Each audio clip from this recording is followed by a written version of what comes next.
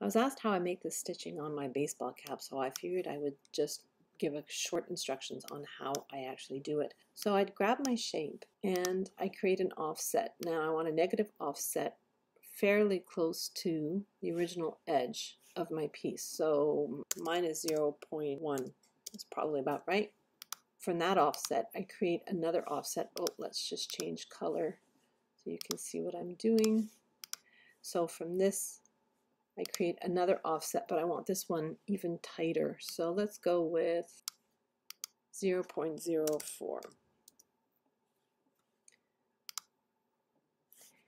I don't need my shape right away. So I'm going to grab the two offset layers that I've just created, to align center to make sure they're properly positioned and slice.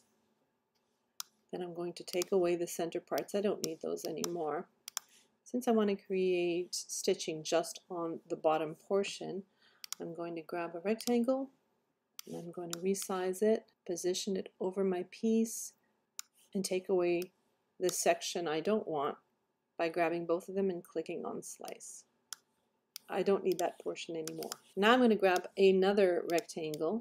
I'm going to unlock proportions. I'm going to make myself a very thin rectangle and let's say 0.04. So this represents the spacing between my stitches.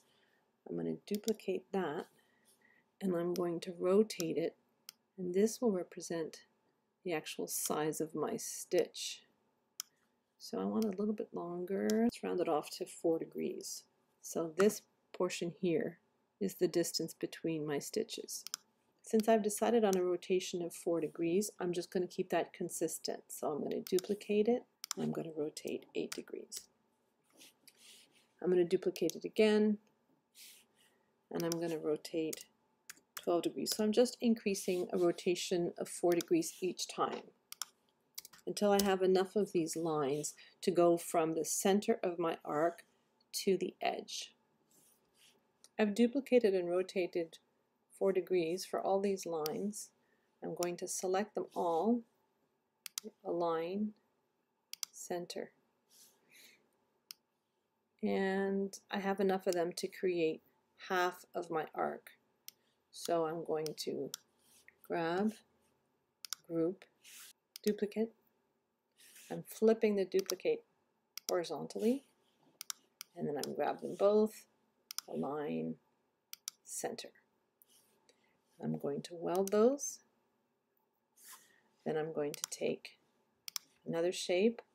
I don't need the top portion of those lines.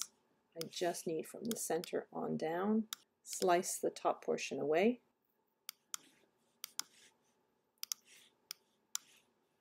And then I'm going to position my offset piece over my lines align center horizontally, and slice. So I'm taking away the pieces I don't need. And this creates my curved stitch line. Now for the straight st stitch line, it's so much easier. Take a rectangle and unlock proportion, make it nice and skinny. That's, you want to make it wider than your piece and you want it at 0.04 again and we're going to duplicate that I'm going to align left so I want these lines to span from the top of this line to the bottom of this line align distribute vertically and let's see how that looks. I like the size of those stitches, so I'm just looking at the space between the lines. Those will be the size of my stitches. You know what, I think I could use another line. So I'm going to duplicate. I'm just going to put it randomly inside my lines. Left, distribute vertically, and that's better. I'm clicking on weld, I'm putting my piece in position, then slice. So now I have my stitch pieces. I don't need this anymore. And I'm just going to position this over the piece for my cap. Line, center horizontally, attach. Okay, but as it stands, all these little rectangles are going to cut out of your piece. So you want to go to your layers panel and then click on pen.